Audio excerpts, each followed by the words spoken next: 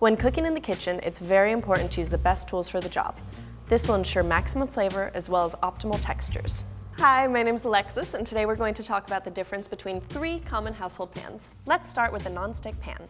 This is probably the most common pan for beginner cooks. These are fairly inexpensive, and due to their non-stick surface, they're super easy to clean. To increase the longevity of your pan, you need to ensure that you're taking proper care of the non-stick surface. For example, when you're making scrambled eggs, you should always be using silicone or wooden tools, and that goes for all other dishes as well.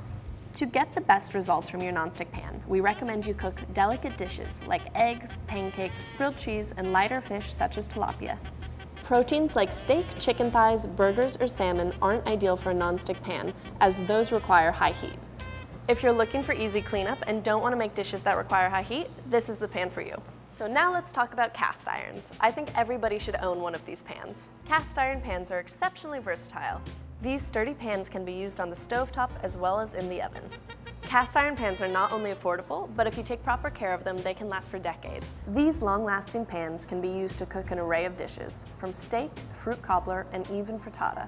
You can cook nearly everything with a cast iron pan, but for beginner cooks, they may seem intimidating. Pans need to be treated before their first use, and the cleanup is more involved than with a nonstick pan. If you're willing to do the cleanup, cast iron pans are a worthwhile addition to any kitchen. Now let's talk about our third and final pan. Stainless steel is without a doubt my favorite pan to use in the kitchen. These pans are built tough, and like cast iron, can be used on the stovetop or in the oven. They're particularly good when you want a nice sear on a protein. You can truly cook everything with a stainless steel pan. Salmon, sauteed vegetables, risotto, and even eggs. The fear around using a stainless steel pan is the idea that food will stick. To prevent this, you need to make sure you're using a preheated pan and the appropriate amount of oil. So here I have two chicken thighs and I'm gonna show you just how easy it is to make sure your food doesn't stick. First things first, let's preheat the pan. I'm going to add about two teaspoons of oil, just enough to coat the bottom of the pan. Once the oil begins to shimmer, I'm going to add the seasoned chicken, skin side down.